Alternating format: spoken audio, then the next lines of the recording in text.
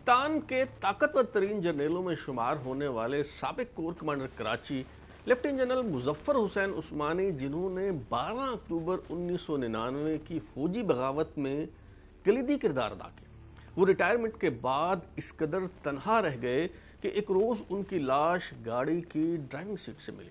अगर जनरल उस्मानी उस रोज़ अपने हलफ की पासदारी करते हुए मुंतब हुकूमत का साथ देते तो क्या तारीख का धारा बदला जा सकता था?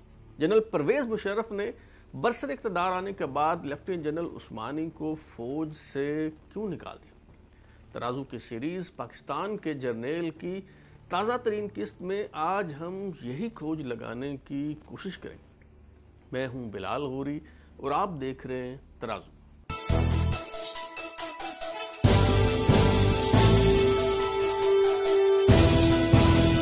अफवाज पाकिस्तान की तरफ़ से पहली बार मार्शल लगाकर अनाना इकतदार पर कब्जा किया गया तो इस सरगर्मी का मरकज शहर कायद कराची था, क्योंकि तब मुल्क का दारुल हुकूमत कराची में ही हुआ करता था। जब वफाकी दारुल हुकूमत इस्लामाबाद मुंतकिल हो गया तो फौजी इनकलाब टेन कोर का इस्तेकाक हो गया, जिसका हेडक्वार्टर रावलपिंडी में है। दूसरे फौजी डिक्टेटर जनरल याया खान और फिर तीसरे chief martial dictator general Ziaul Haq के दौर में रावलपिंडी के ट्रिपल वन ब्रिगेड को इस हवाले से खासी शोहरत मिली। मगर 12 अक्टूबर 1999 को होने वाली फौजी बगावत की कामयाबी का दारो मदार टेन कोर नहीं, बल्कि कराची में मौजूद फाइव कोर और उसके commander lieutenant general Muzaffar Hussain Usmani के कंधों पर था। ये मुहिम जोई जो ताश की बाजी जैसी सनसनी खेज और इसाब शिकन थी। इसमें तुरप के सब पत्ते लेफ्टिनेंट जनरल मुजफ्फर हुसैन उस्मानी के हाथों में थे। उनके पास दो रास्ते थे। या तो वो अपनी गर्दन और नौकरियाँ बचाने के लिए मुंतब हुकूमत गिराने की नीयत रखने वाले चंद जर्नेलों के टोले का साथ देने और गैर कानूनी इकदाम का हिस्सा बनने के बजाय अपने हलफ की पासदारी करते और तारीख में अमर हो जाते या फिर नमक की कान में नमक हो जाते वक्त के सांचे बदल जाने के बजाय उनमें ढल जाते लेफ्टिनेंट जनरल मुजफ्फर हुसैन उस्मानी ने गैर रिवायती रास्ते का इंतखब करने के बजाय अपना वज़न जनरल परवेज मुशरफ के पलड़े में डालने का फैसला किया। मगर सवाल ये है कि क्या वो किसी कश्मकश का शिकार थे? और ये फैसला उन्होंने कैसे किया? सबसे पहले हम यही जानने की कोशिश करते हैं। Corps commander Karachi lieutenant general Muzaffar Hussain Usmani ने 12 अक्टूबर 1999 की शाम सात टेलीफोन कॉल्स मौसूल की, जो फैसला कुन साबित हुई। शाम पाँच बजे पीटीवी पर army chief general Pervez Musharraf को बरतरफ किए जाने की खबर नशर हुई तो कराची कोर के chief of staff brigadier Tariq Suhail ने corps commander lieutenant general Muzaffar Hussain Usmani को टेलीफोन कॉल करके सूरत हाल से आगाह किया दूसरा टेलीफोन, इस्लामाबाद में प्राइम मिनिस्टर ऑफ़िस से आया, जिसमें उन्हें ये पेशकश की गई कि आपका बेटा जो बीमार है, वज़ीर अजम नवाज़ शरीफ को उसकी अदालत पर तशवीश है और अगर आप चाहें तो उसे इलाज के लिए बैरून मुल्क भिजवाया जा सकता है। लेफ्टिनेंट जनरल उस्मानी ने इस पेशकश पर कहा कि अगर ज़रूरत पड़ी तो इस हवाले से खुद वज़ी अजम से बात कर लेंगे। लेफ्टिनेंट जनरल मुजफ्फर हुसैन उस्मानी को तीसरी टेलीफोन कॉल जीएचक्यू रावलपिंडी से। आई chief of general staff lieutenant general Aziz Khan ने पूछा, अब क्या किया जाए? Corps commander Karachi lieutenant general Muzaffar Hussain Usmani ने कहा, जनरल परवेज मुशर्रफ ने इस हवाले से कोई हिदायत दी थी या नहीं? CGS lieutenant general Aziz Khan ने कहा हाँ उन्होंने अहकाम दिए थे। लेफ्टिनेंट जनरल मुजफ्फर हुसैन उस्मानी ने कहा तो फिर उनकी हिदायत पर अमल दरामद करो। कुछ देर बाद corps commander Rawalpindi, lieutenant general Mahmood Ahmed ने भी corps commander Karachi, lieutenant general Muzaffar Hussain Usmani को टेलीफोन किया। और दरपेश सूरत हाल के हवाले से तबादला ख्याल किया कर्नल इशफाक हुसैन, जो तब कराची में बतौर director I S P R तैनात थे। वो इस हवाले से हैरत का इजहार करते हैं कि तब सीनियर मोस्ट जनरल तो corps commander Peshawar, lieutenant general Saeedul Zafar थे। Chief of general staff lieutenant general Aziz Khan और corps commander Rawalpindi lieutenant general Mahmood Ahmed उनके बजाय लेफ्टिनेंट जनरल मुजफ्फर उस्मानी को टेलीफोन करके ये क्यों पूछ रहे थे कि अब क्या करना चाहिए? पहली बात तो यह है कि उन्हें corps commander Peshawar lieutenant general Saeedul Zafar की तरफ़ से इस गैर कानूनी अकदाम के हवाले से ताउन किए जाने की तो नहीं थी। और दूसरी बात यह है कि इस कार्रवाई के दौरान कोर कमांडर कराची को मरकजी अहमियत हासिल थी। अगर वो एयरपोर्ट पर जाकर जनरल परवेज मुशर्रफ को गिरफ़्तार कर लेते तो ये खेल शुरू होने से पहले ही खत्म हो जाता। Corps commander Karachi, lieutenant general Muzaffar Hussain Usmani को पांचवी टेलीफोन कॉल नए आर्मी चीफ जनरल जियाउद्दीन की तरफ़ से मौसू उन्होंने क्या हिदायत दी? इसकी तफसील वो तराजू को दिए गए खसूसी इंटरव्यू में बयान कर चुके हैं। परवेज मुशर्रफ का जब ये लैंडिंग हुई ये चक्कर था तो मैंने जो कोर कमांडर था वहाँ कराची।, कराची का? उसको कहा कि तुम जाके इसको रिसीव करो। सही। तो उसने कहा जी ये तो आपको ये रहा नहीं प्राइम तो चीफ नहीं रहा तो मैं क्यों जाऊँ? मैंने कहा नहीं वो एक्स चीफ तो है ना। तुम उसको लेके आओ with all the honour and treat him as ex chief of army staff तो उस्मानी नाम था उसका। बहरहाल Usmani very reluctantly he went in uniform वो कह रहा था मैं यूनिफॉर्म में क्यों जाऊँ? वो तो खत्म हो गया हाँ। उसका तो रहा नहीं। वज़ीर आज़म की तरफ़ से तैनात किए गए नए आर्मी चीफ जनरल जियाउद्दीन की टेलीफोन कॉल खत्म होने के कुछ देर बाद ही corps commander Karachi lieutenant general Muzaffar Usmani को प्राइम मिनिस्टर ऑफ़िस से एक और टेलीफोन आ गया। इस बार वजी अजम नवाज़ शरीफ के military secretary brigadier Javed Iqbal line पर थे। उन्होंने वजी अजम की तरफ़ से ये पैगाम दिया कि जनरल परवेज मुशर्रफ को प्रोटोकॉल देने की कोई ज़रूरत नहीं।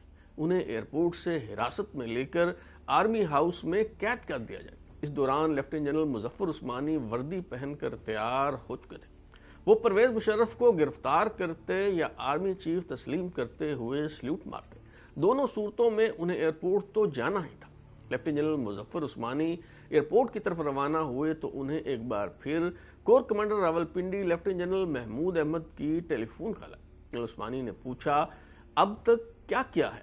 जनरल महमूद ने कहा, कुछ भी नहीं। Army chief general Pervez Musharraf की कराची आमद का इंतज़ार किया जा रहा है। जब corps commander Rawalpindi, lieutenant general Mahmood को यकीन हो गया कि लेफ्टिनेंट जनरल मुजफ्फर उस्मानी उनके साथ है तो उन्होंने इस्लामाबाद में भी कार्रवाई का आगाज़ कर दिया। Corps commander Karachi lieutenant general Muzaffar Usmani के अलावा दीगर अफराद को भी ये टास्क दिया गया था कि जनरल परवेज मुशर्रफ को एयरपोर्ट पर जहाज़ से उतरते ही गिरफ़्तार कर लिया जाए। उनमें आईजी सिंध राना मकबूल और डीआईजी सिंध, अकबर अराई शामिल थे। जनरल उस्मानी एयरपोर्ट पहुँचे तो आईजी पुलिस राना मकबूल एयरपोर्ट का इंतज़ाम संभालने के लिए पर तोल रहे थे। पीके 805 जिस पर जनरल परवेज मुशर्रफ सवार थे। उसे नवाब शाह एयरपोर्ट ले जाने का हुक्म दिया गया था और वहाँ भी पुलिस की भारी नफरी मौजूद थी। लेफ्टिनेंट जनरल उस्मानी ने मखदूश सूरत हाल के पेश नज़र मलेर छावनी के general officer commanding major general Iftikhar से रबता करके उन्हें हुक्म दिया कि वो फौरी तौर पर अपने फौजी दस्तों को लेकर यहाँ पहुँचे और कराची एयरपोर्ट का कंट्रोल अपने हाथों में ले लें। कुछ ही देर में मेजर जनरल इफ्तार और उनके जेर कमान फौजी दस्ते हरकत में आ गए। Major general Iftikhar air traffic control room पहुँचे। पिस्टल निकालकर air traffic controller Yusuf Abbasi की कनपटी पर रख दिया और हुक्म दिया कि पीआईए की श्रीलंका से आने वाली परवाज पीके 805 जिस पर जनरल परवेज मुशर्रफ सवार है, उसके पायलट सरवत हुसैन से उनकी बात करवाई जाए।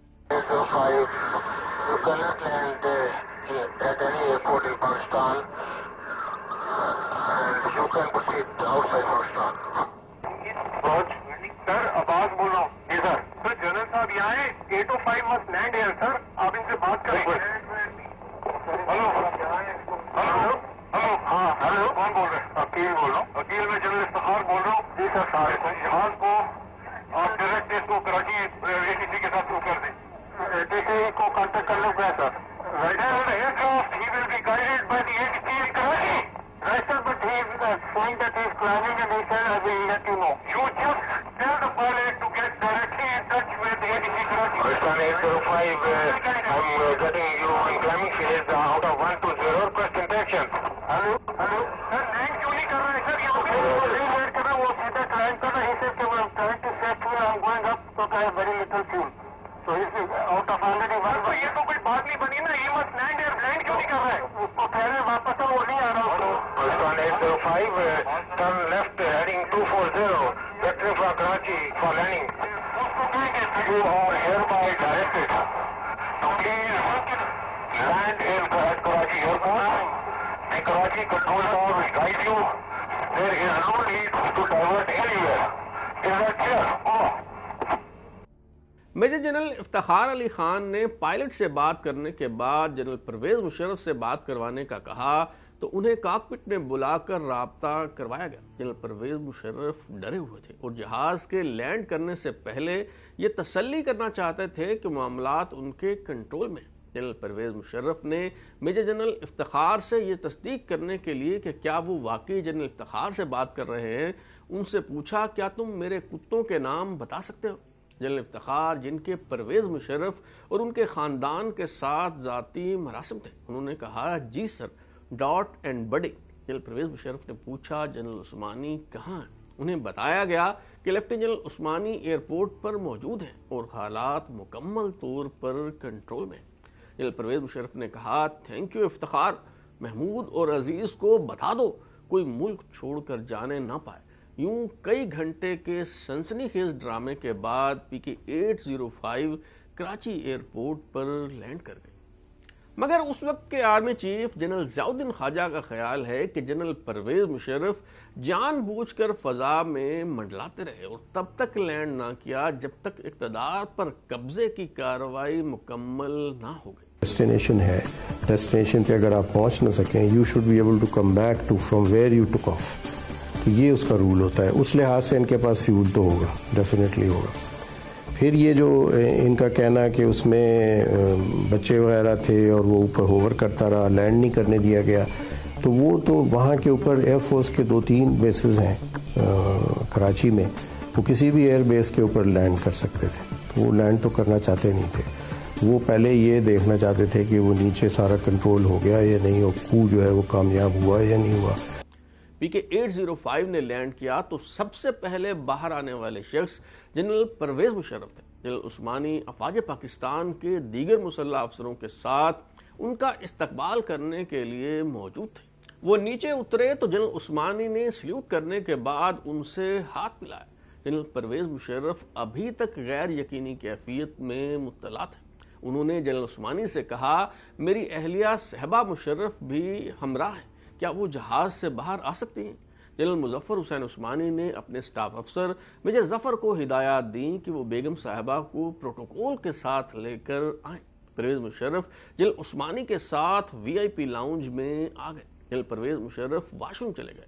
वो जू ही बाहर आए, जनरल उस्मानी ने कहा, मुझे हुक्म मिला है कि आपको गिरफ़्तार कर लिया जाए। ये बात सुनते ही जनरल परवेज मुशर्रफ के चेहरे पर हवाइयाँ उड़ने लगी। जनरल उस्मानी मुस्कुराए और कहा, सर, फ़िक्र की कोई बात नहीं। हालात मुकम्मल तौर पर कंट्रोल में जनरल परवेज मुशर्रफ, जनरल उस्मानी के साथ गाड़ी में बैठकर फाइव कोर के हेडक्वार्टर की तरफ़ रवाना हुए तो उनकी कार पर चीफ ऑफ़ आर्मी स्टाफ का झंडा लहरा रहा था। इकतदार पर कब्जा करने की कार्रवाई मुकम्मल करने के बाद जनरल परवेज मुशर्रफ के कौम से खिताब का मरहला दरपेश हुआ। I S P R Karachi के director general colonel Ishfaq, general Pervez Musharraf की तकरीर रिकॉर्ड और फिर नशर करने के इंतज़ाम में मसरूफ हो गए।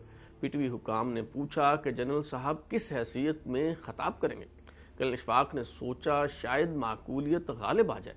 और जनरल असलम बेग मिर्ज़ा की तरह अनान इकतदार चेयरमैन सेनेट के सपूर्द कर दी जाए। इसलिए उन्होंने चीफ मार्शल एडमिनिस्ट्रेटर के बजाय महज ये ऐलान नशर करवाने पर इतफा किया कि army chief general Pervez Musharraf कौम से खताब करेंगे। मामले की हसासियत के पेश नज़र पी टी वी हुकाम ने गुजारिश की कि इस हवाले से तहरीरी अहकाम दिए जाए। जनरल परवेज मुशरफ की यह तकरीर किसने लिखी? उनकी खुद नविश्त in the line of fire में परवेज मुशरफ दावा करते हैं कि यह तकरीर उन्होंने खुद लिखना शुरू की और फिर उनके साथियों ने इसकी मंजूरी दी। ये साथी कौन थे? ये तफसील नहीं बताई गई। कर्नल इशफाक के मुताबिक इब्तदाई तौर पर यह तकरीर मंगला कोर से ताल्लुक़ रखने वाले मेजर जनरल इकबाल ने लिखी। ये फौजी अंदाज में लिखी गई तकरीर थी। कर्नल इशफाक ने corps commander Karachi lieutenant general Muzaffar Usmani को इस तकरीर के हवाले से अपने तहफात से आगाह किया तो उन्होंने कहा, नई तकरीर लिख दो। फिर तय हुआ कि एक साथ बैठकर तकरीर तैयार की जाए। General Pervez Musharraf lieutenant general Usmani, major general Iqbal और कर्नल इशफाक एक मेज के गिर्द बैठ गए। कर्नल इशफाक नई तकरीर लिखते रहे और साथ साथ इसकी मंजूरी हासिल की जाती रही। अब तकरीर रिकॉर्ड करने का मरहला दरपेश हुआ। Corps commander Karachi, lieutenant general Usmani के दफ्तर में पीटीवी की रिकॉर्डिंग टीम पोजीशन संभाल चुकी थी।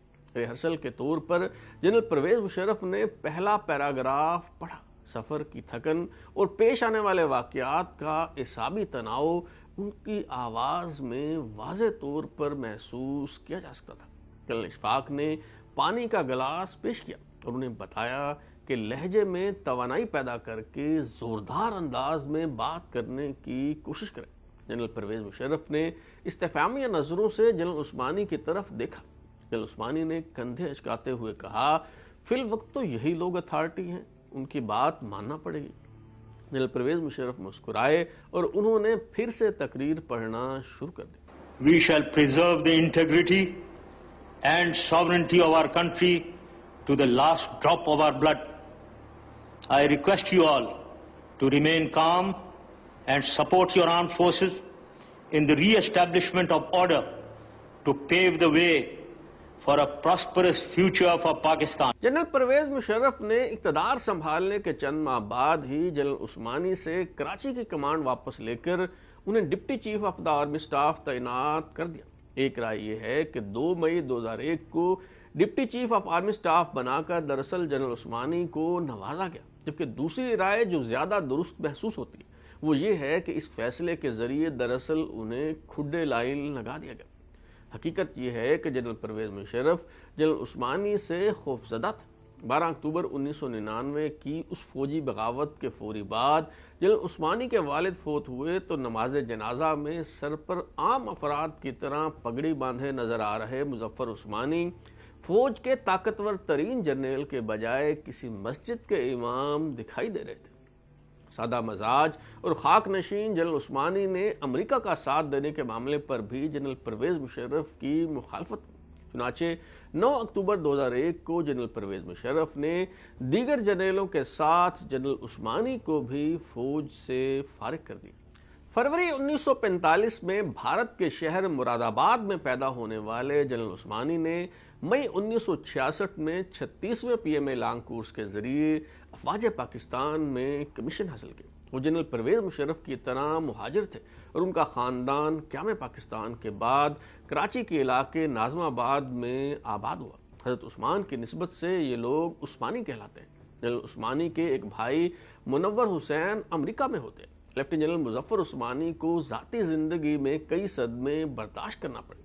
उनके इकलौते बेटे जो मुसलसल बीमार रहा करते थे, उनका इंतकाल हो गया। बेटी का जहनी तोज़ुन दुरुस्त नहीं था। वालिद और फिर अहलिया दागे मफारकत दे गई। चुनाचे रिटायरमेंट के बाद वो अकेले रहा करते थे। मुजफ्फर हुसैन उस्मानी की लाश यकम अक्टूबर 2020 को कराची में डिफेंस फेजेट के पास दो दरिया के इलाके में इस हालत में मिली कि वो ड्राइविंग सीट पर बेसुध पड़े थे। पैंतीस साल पुरानी गाड़ी का इंजन और एयर कंडीशन चल रहा था। उन्हें अस्पताल ले जाया गया तो डॉक्टरों ने बताया कि अचानक दिल का दौरा पड़ने से उनकी मौत वाक़ हुई। हैरत अंगेज तौर पर उस रोज़, यानी यकम अक्टूबर 2020 को, अफवाज पाकिस्तान के चार जर्नेलों की एक साथ मौत वाक़ हुई। जनरल मुजफ्फर हुसैन उस्मानी के अलावा, कराची के एक और सबक corps commander, lieutenant general Naseer Akhtar four Baloch के मेजर जनरल रहीम और आर्मी मेडिकल कोर के मेजर जनरल नसीरुल्लाह वफात पा गए। ये थी सबक corps commander Karachi, lieutenant general Muzaffar Hussain Usmani की दास्तान हयात अगर आप अपनी राय देना चाहते हैं या फिर कुछ तजवीज़ तो हमारा WhatsApp number zero double three two eight four one zero five three seven दस्तियाब है। अपना फीडबैक दें, लाइक करें, सब्सक्राइब करने के बाद बेल यानी घंटी दबाएँ और देखते रहें हमारा चैनल तराजू।